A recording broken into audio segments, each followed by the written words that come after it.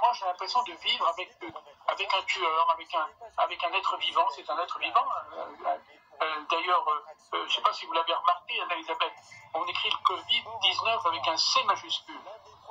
Et pourquoi Est-ce que c'est normal eh ben, eh ben, eh ben, parce que c'est un être vivant. Le Covid-19, comme James Bond 007, et un jour peut-être nous aurons un film James Bond 007 comme Covid-19, et le, bon contre, le méchant. Et je trouve qu'aujourd'hui, on peut faire le portrait du Covid-19, de ce croc-Covid.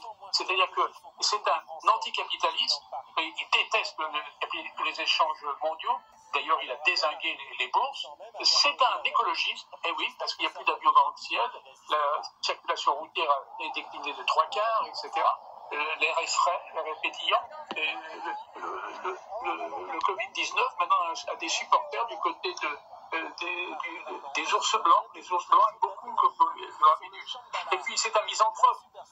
il déteste, il déteste que les, les, hommes et les femmes parlent entre eux, boivent un coup, déjeunent, descendent, rigolent, chantent ensemble. Il déteste ça. C'est un super misanthrope.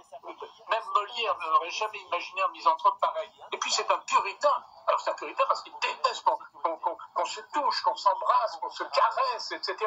Et puis alors, je vais même vous dire, il le sexe. Il hait le sexe. il, ne s'introduit pas dans le corps par le sexe, mais il le hait quand même. Parce qu'il déteste la sensualité. Moi, je trouve qu'il vous inspire beaucoup le Covid-19, hein, Bernard Pivot.